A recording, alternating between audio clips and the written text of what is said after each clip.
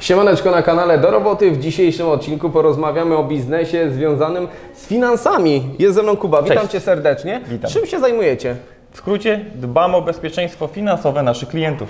i jak o nie dbacie? Mojej agencji przez 8 lat wypłaciliśmy już 2 miliony świadczeń z tytułu zdarzeń objętych ochroną ubezpieczeniową. Jak również nasi klienci powierzyli kilkadziesiąt milionów na produktach oszczędnościowo-inwestycyjnych. Okej, czyli jest sporo pracy, więc o tym dzisiaj porozmawiamy. Zostańcie do końca materiału. Ja lubię się w takich sytuacjach potknąć. Ojku. W trudnej Tyle zer sytuacji starczy? się sprawdziło. Za dużo zer? Ale ja się tak wyceniam. Tak? Mogę no się wycenić dobra, więcej? O zero, się. tak? A, że stąd, że tak bi... A, to dobra. Takie. Może się uda. Witam Cię na naszym Open Space. Mhm. Tu mamy wyniki, akurat na tablicy jest 20 najlepszych w całej naszej agencji, w całym naszym biurze. W tym roku walczymy o Zanzibar i Tanzanię. Jasna tablica przekazana, można zdobywać punkty w wielu aspektach. Czyli nie tylko zarobki są tu ważne, ale też te procenty, które na tych tablicach wszystkich się tutaj pojawiają.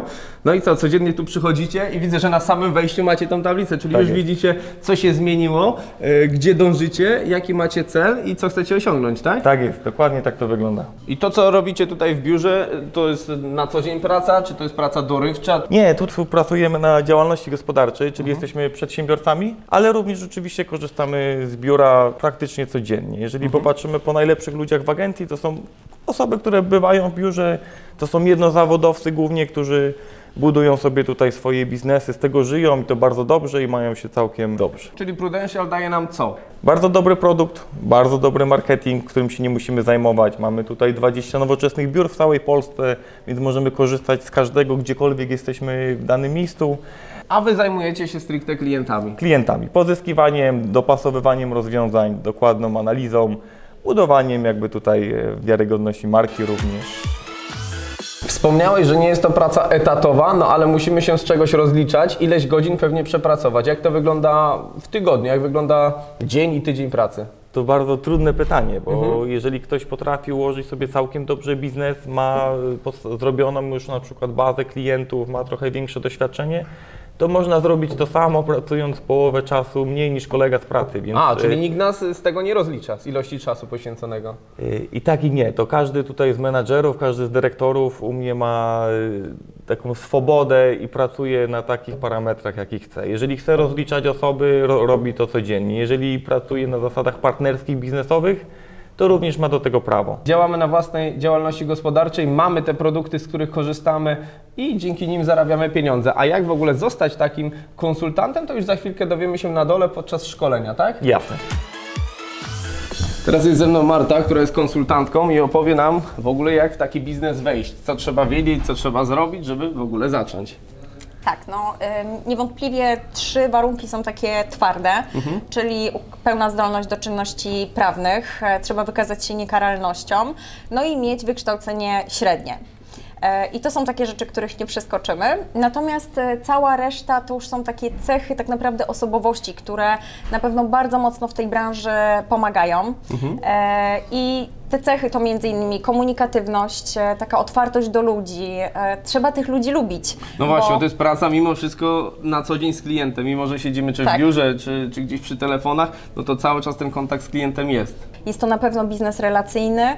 E, Bardzo często współpracujemy wiele lat z tymi ludźmi, więc ta dobra relacja, taki ciepły, fajny kontakt z klientem jest tutaj kluczowy. No właśnie, i tą siatkę klientów też sobie budujemy dzięki tym relacjom, prawda? Bo im więcej mamy klientów, można powiedzieć, że współpracowników, no bo też z nimi działamy na takiej relacji towarzyskiej, ale też finansowej, no to później oni nas polecają i zarabiamy więcej pieniędzy, co za tym idzie. Tak, dokładnie tak. No i kolejnym krokiem, e, no na pewno tutaj jest jeszcze proces rekrutacji. E, następnie jesteśmy zapraszani na taką rozmowę rekrutacyjną, jeśli przejdziemy ją pomyślnie i, I co tak trzeba naprawdę... tam po- zdrać moim widzom, co trzeba tam.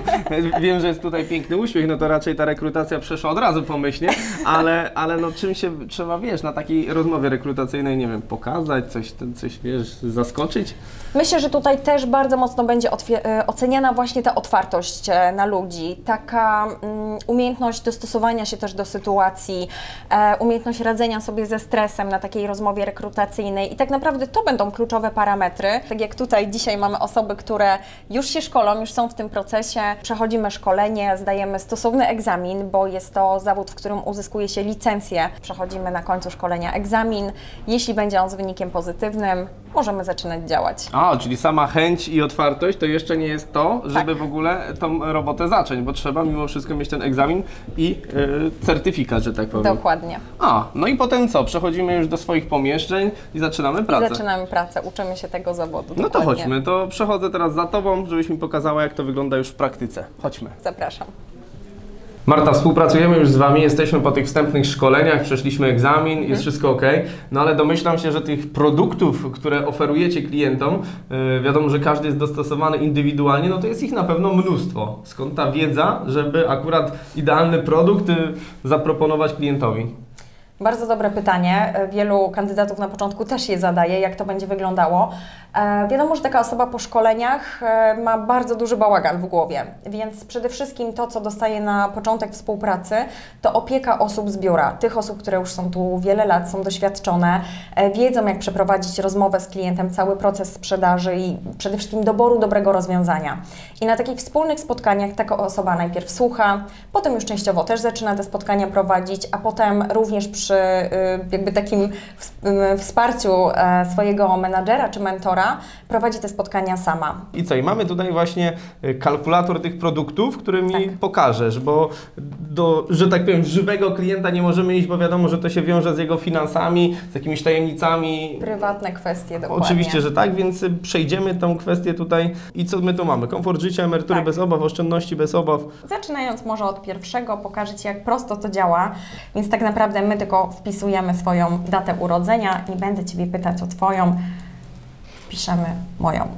Nie zdradzaj. E, I tutaj już tak naprawdę albo my po wcześniejszej analizie z klientem wiemy już co wpisać, ale tak naprawdę możemy też to oddać klientowi i nakierowując go, rozmawiając z nim, robiąc dobrą analizę jego potrzeb, dobrać odpowiednie sumy, żeby rozwiązanie w trudnej Tyle sytuacji zer starczy? się sprawdziło. Za dużo zer? Ale ja się tak wyceniam. Tak? Mogę no się dobra, wycenić więcej? O jedno zero, tak? Dobrze. I co, to Zobaczymy. jest czas trwania? Czas trwania, tak. Ale czego? Śmierci? Nie. Nie, życia. Śmierć jest dość szybka, więc raczej życia. Okej. Tyle starczy? Tak, starczy. Słabo tak. mnie wyceniasz. Dobra, wszystko się wydało. A bo my Ciebie wyceniamy, okej, dobra.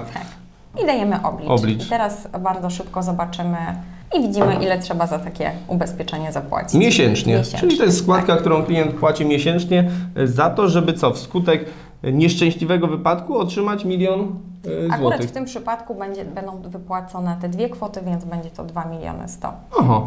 No i fajnie. I tutaj możemy sobie tak, W trakcie spotkania możemy to modyfikować, nie trzeba wracać do biura, robić ponownej kalkulacji, tylko tak naprawdę na spotkaniu z klientem dzięki temu narzędziu możemy wszystko, całą e, ofertę przygotować, To ja sobie jeszcze poanalizuję tutaj inne produkty i zobaczę, jak to wygląda od środka.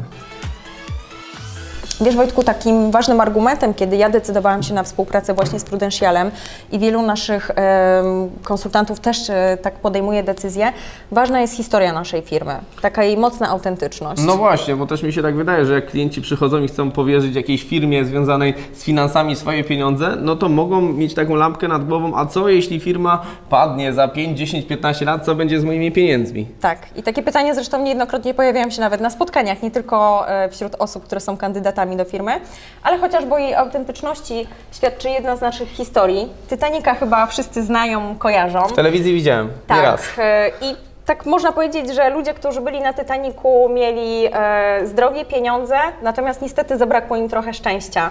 My jako Prudential ubezpieczaliśmy prawie 300 osób e, na właśnie Titaniku. E, wypłaciliśmy świadczenia ponad 290 rodzinom ofiar, które na tym Titaniku e, zginęły i łączna kwota, którą wypłaciliśmy wtedy jako świadczenia ubezpieczeniowe to było 12 tysięcy, ponad 12 tysięcy funtów. E, I dzisiaj pewnie wydawałoby się, że nie jest to duża kwota, duża. Natomiast y, warto spojrzeć, że mówimy tutaj o roku 1912. Okej, czyli tutaj mamy już y, i dla kandydatów fajną informację, ciekawostkę i też dla klientów, że no jest ta historia, czyli to nie jest tak, że firma się wzięła, nie wiem, 5-7 lat temu, nagle powstała, Dokładnie. zbiera pieniądze i coś może się z tym stanie albo nie. No tutaj mamy y, fajną historię związaną z Titanikiem, co komuś mogłoby się wydawać o matko, kiedy to było, a to dalej funkcjonuje. Marta, powiedzieliśmy już o świadczeniach, jakie Wy wypłacacie swoim klientom, ale teraz moim widzom musimy zdradzić albo opowiedzieć, na jakie zarobki może liczyć konsultant. E, Tak naprawdę te finalne zarobki bardzo mocno będą zależały od e, zaangażowania, od motywacji samego pracownika, ale średnio myślę, że spokojnie można powiedzieć, że spisując jedną polisę na tydzień, czyli tak naprawdę cztery w miesiącu, taki początkujący konsultant, który jeszcze nie ma docelowego rynku klientów, e, z którymi, z którymi będzie pracował, tak mocno go jeszcze nie dopracował, to myślę, że może zarobić około 8 tysięcy. Okej, i biorąc pod uwagę, y, że tak powiem, bezkosztowy biznes, no bo y, jedyną rzeczą no to jest telefon, który możemy mieć, tylko że numer służbowy i taksówka, samochód, no, którym gdzieś musimy Tak. się poruszać, tak? Dokładnie, więc faktycznie porównując to pewnie do tradycyjnego biznesu, e, te koszty są znikome. Ludzie czasami trochę się obawiają, że trzeba tą działalność otworzyć, natomiast otwierając tradycyjny biznes, porównując to chociażby do sklepu, musimy wynająć jakąś powierzchnię, pewnie zatrudnić pracownika, zatowarować cały ten sklep, więc już na samym starcie takiego biznesu te koszty są dość duże. Tutaj, tak jak powiedziałeś, telefon, pewnie dobrze byłoby mieć jakiś środek transportu i można zaczynać działać. I nie trzeba Prudentialowi płacić, nie wiem, jakiejś licencji, franczyzy, czegokolwiek, to jest po prostu współpraca. Dokładnie tak, w systemie wynagrodzenia prowizyjnego. Okej, czyli my otrzymujemy prowizję za to, co zrobimy. Za to, co zrobimy. Czyli- Za finalny efekt y, faktycznie zawarcie umowy z klientem. Mhm. Czyli im większą mamy tą sieć kontaktów, więcej spotkań, więcej podpisanych umów, tym te zarobki też są większe. Zdecydowanie tak. A co jeśli na przykład takich y, umów, na przykład czterech nie podpiszemy, a podpiszemy dwie? Czy te zarobki się wtedy zmniejszają, czy zawsze jest jakiś limit, który mimo wszystko musimy osiągnąć? Tak jak powiedziałam, to zależy od y, tylko i wyłącznie systemu prowizyjnego. Każda polisa ma przypisaną swoją prowizję, więc możemy pracować na kliencie, który jest bardziej zamożny, będzie pisał, e, będziemy pisać z takim klientem mniej polis, ale będą one wyższe. Będziemy ubezpieczać tam całą rodzinę, więc jakby w jednej rodzinie już będzie kilka tych polis. Czyli lepsze polisy to też większe zarobki. Zdecydowanie. I jakie ty plusy widzisz w tej pracy, musisz mi powiedzieć? No bo, że zarobki są i można fajnie zarobić, no to wiemy, no Tak. ale z czym to jeszcze się wiąże? Pieniądze to jest na pewno jeden z plusów, e, ale z takich rzeczy, które mnie tutaj bardzo mocno przekonują, to na pewno są e, wyjazdy organizowane przez firmę. E, I początkowo myślałam e, też, jak najbardziej. Początkowo wydawało mi się, że przecież dobrze zarabiam, więc ja w te same miejsca mogę pojechać sama czy z moją rodziną. Natomiast kiedy zaczęłam faktycznie wygrywać wycieczki, jeździć z Prudentialem, okazało się, że miejsca, które można zobaczyć, tak naprawdę często dla indywidualnego klienta nie byłyby dostępne. Na pewno kolejną taką bardzo istotną rzeczą jest to, że przynajmniej dla mnie, że jest to taka praca z misją.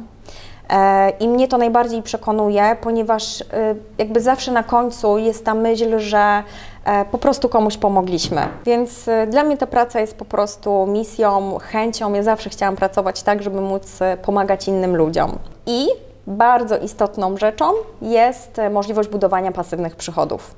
E, To daje ogromny komfort psychiczny. Nie da ale się z czym tego... to jest związane? Że co, że co, co możemy zrobić, żeby te pieniądze pasywnie na nas pracowały? Y, W momencie, kiedy rozbudujemy sobie swoją sieć e, klientów, te pasywne przychody już z podpisanych umów będą płynęły na nasze konto. To też y, warto właśnie wspomnieć widzom i jeszcze raz to podkreślić, że nie dość, że zarabiamy fajne pieniądze, to im więcej pracujemy, tych pieniędzy może być jeszcze więcej, no i też buduje się pasywny y, dochód, Dokładnie, więc, więc to jest tak. bardzo fajna, bardzo fajna opcja. Kuba, z Martą porozmawialiśmy o plusach, dziewczyna uśmiechnięta, ładna, ale Mhm. teraz musimy przejść pewnie do jakichś minusów, które w tej pracy też się pojawiają. Jasne, jak w każdej pracy są również minusy. E, Tu musimy walczyć trochę niską świadomością jeszcze ubezpieczeniową, inwestycyjną, ochronną, więc to nam zajmuje największą część energii i pracy, którą wkładamy na spotkaniu. Ale to jest jeden z tych niewielu minusów, bo zdecydowanie więcej w naszej branży to jednak jest plusów.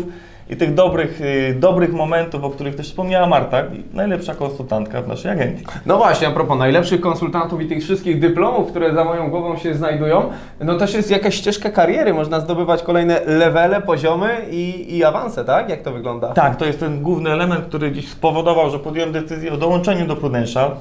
E, ścieżkę kariery znamy już w momencie podpisania umowy z Prudentialem. Mamy jasno wytyczoną ścieżkę, co trzeba zrobić, jakie liczby trzeba przynieść, żeby awansować. Więc ludzie mogą z konsultanta awansować na senior dyrektora, budować swoją agencję e, pod bardzo dobrym brandem, trochę na swoich zasadach. Czyli drodzy widzowie, y, na samym początku wiemy, co możemy osiągnąć. To nie jest tak jak w zwykłej, powiedzmy, etatowej pracy, że może za 7-10 lat zostaniesz jakimś menadżerem. Tutaj jasno są określone warunki współpracy. Wiemy, Tak. że jeśli dzisiaj i jutro zrobimy tyle, to może za miesiąc będziemy mieli taki i taki awans. Tak jest, Super, więc jeśli podobał Wam się ten materiał, zostawcie łapkę w górę, skomentujcie ten odcinek i oczywiście subskrybujcie kanał do roboty. A ja Tobie dziękuję bardzo. Jeszcze jakieś awanse przed Tobą są? Coś?